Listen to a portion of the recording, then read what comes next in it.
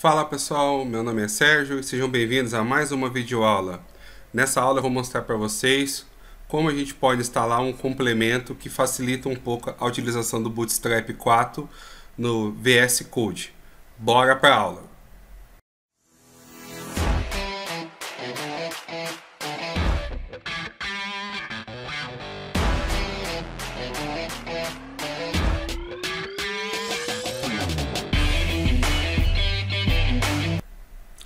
Pessoal, antes de começar a videoaula, vou pedir para você que não é inscrito que se inscreva no canal, ative o sino de notificações e deixe o seu comentário.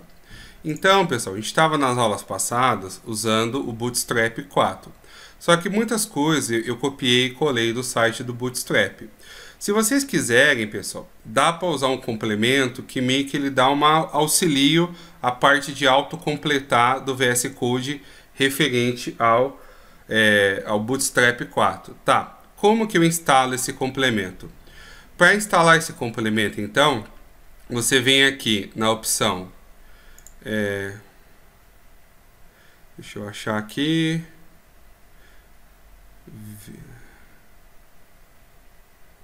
Aqui, View, opção View Extensions, ou você aperta Ctrl Shift X, ok?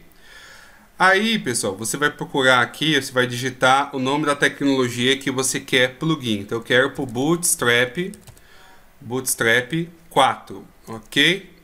Vai aparecer, ó, tem vários, na verdade. Se digitar só o Bootstrap, ó, aparece esse Bootstrap aqui, ó. É esse aqui que eu quero.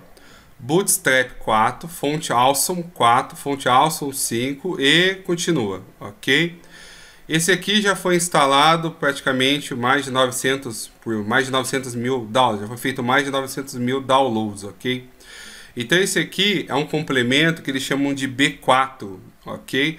Então quando você vai usar ele, a gente usa as teclas, a gente vai perceber que todos os comandos de atalho dele começam com a palavra B4, igual ele está mostrando aqui, ó. Então ele vai ajudando a gente a auto-completar algumas coisas, ok? Certo. Tá, para instalar, super simples. Basta você vir aqui e apertar o botão Install.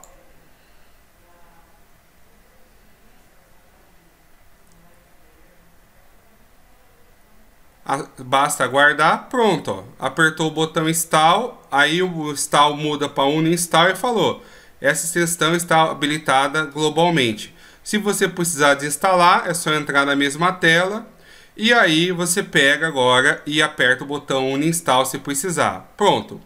Instalamos o plugin. Agora a gente vai ver como utilizar ele na nossa próxima aula, ok? Na próxima aula eu vou mostrar para vocês como que a gente pode utilizar esse plugin para auxiliar o autocomplete. Beleza, pessoal? É isso. Abraços. Até mais.